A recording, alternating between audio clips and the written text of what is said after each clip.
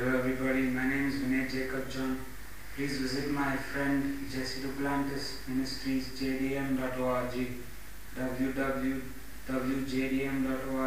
my partner and friend in the Gospel of Jesus Christ of Nazareth. Today we are going to read from the Old Testament of the Holy Bible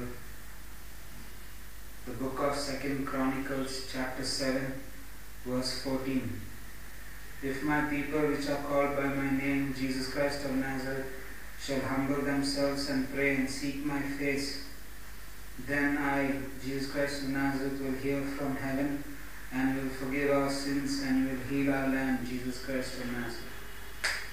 Let us also go to the book of Psalms in the Old Testament of the Holy Bible, Psalms chapter 55, verse 17. Evening and morning and at noon will I pray to thee, Jesus Christ of Nazareth, and cry aloud, and you shall hear my voice, Jesus. Verse 22 Cast your burdens upon the Lord Jesus Christ, and Jesus Christ of Nazareth shall sustain us. Jesus Christ of Nazareth shall never allow us, the righteous, to be moved.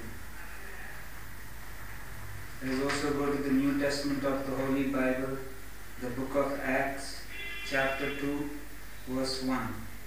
And when the day of Pentecost was fully come, they were all with one accord in one place. And suddenly there came a sound from heaven as of a rushing mighty wind, and it filled all the house where they were sitting.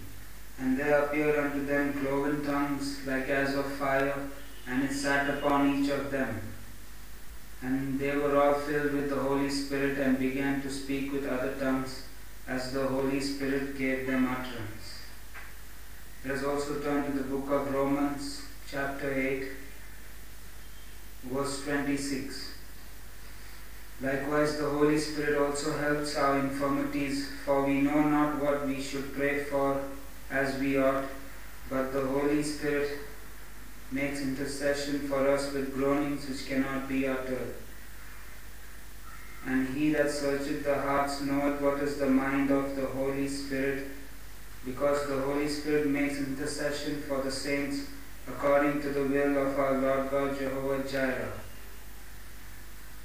And we know that all things work together for good to them that love our Lord God Jesus Christ of Nazareth, to them who are the called according to Jesus' purpose.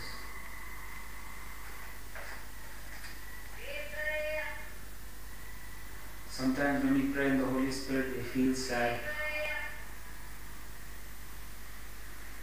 But it's actually for another person. We are carrying other people's burdens. Those who are stronger will carry the weaker people's, the weaker saints' burdens. And so we fulfill the law of Jesus Christ of Nazareth. So in case if you're if you feel kind of sad sometimes, just remember it's for other people, not for you. In the name of Jesus Christ of Nazareth, Amen. Thank you everybody for listening to me today. I'm Vinay Jacob John. Jesus loves us all. Jesus heals us all. In the name of Jesus Christ of Nazareth,